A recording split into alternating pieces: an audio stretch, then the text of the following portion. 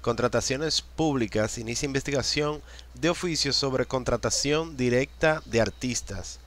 Mediante la investigación, el órgano rector examinará el impacto que pudieran tener las irregularidades preliminares identificadas y aquellas que surjan del análisis final del caso. La Dirección General de Contrataciones Públicas, DGCP, recomendó este jueves al Gabinete de Coordinación de Políticas Sociales que, de tratarse de una contratación directa, la realizada a favor de 70 artistas, los contratos deben ser rescindidos previo cumplimiento de la normativa y, y detener la suscripción de otros nuevos contratos, así como la entrega de fondos por ese concepto. En una comunicación remitida al titular de esa entidad,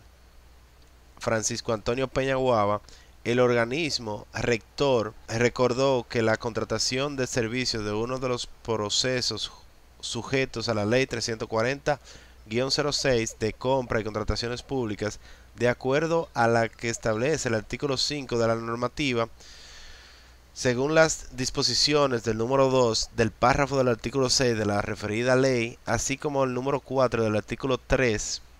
del reglamento de aplicación, aprobado mediante el decreto 543-12, la contratación de artistas es considerada un caso de excepción por responder a la especialidad del proveedor relacionada con su conocimiento artístico y su y la reconocida experiencia en la prestación objeto de la contratación.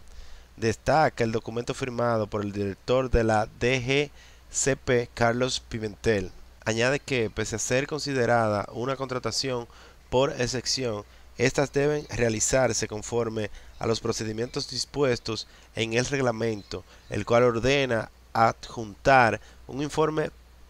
pericial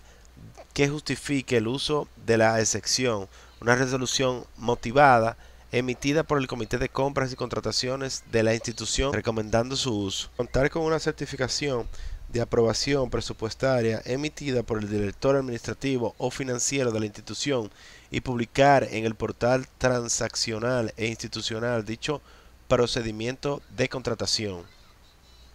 Al verificar en el portal transaccional para identificar el cumplimiento de lo mínimo exigido, pudimos constatar que las citadas contrataciones no fueron gestionadas a través de esta plataforma, contrario al principio de transparencia y publicidad del artículo 6 decreto número 350-17, aun cuando el Gabinete de Coordinación de la Política Social tenía la obligación legal de ajustar dichas contrataciones a las normativas. Sin embargo, según lo verificado hasta el momento, todo indica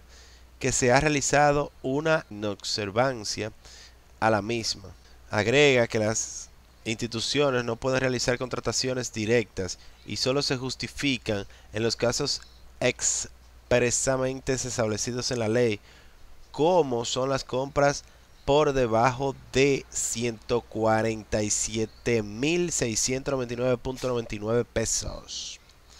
En un comunicado de prensa, la DGSP también informó que inicia un proceso de investigación sobre dicho proceso con base en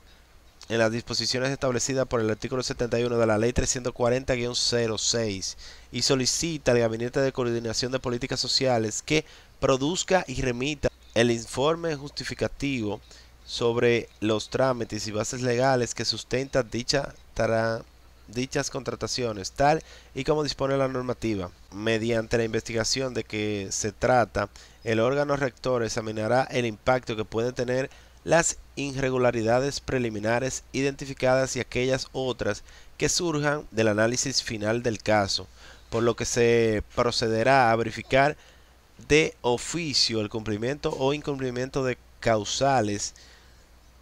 de nulidad absoluta o anulabilidad establecida por el régimen de contratación pública, expresó el director general de contrataciones públicas Carlos Pimentel en el comunicado remitido a Peña Guava.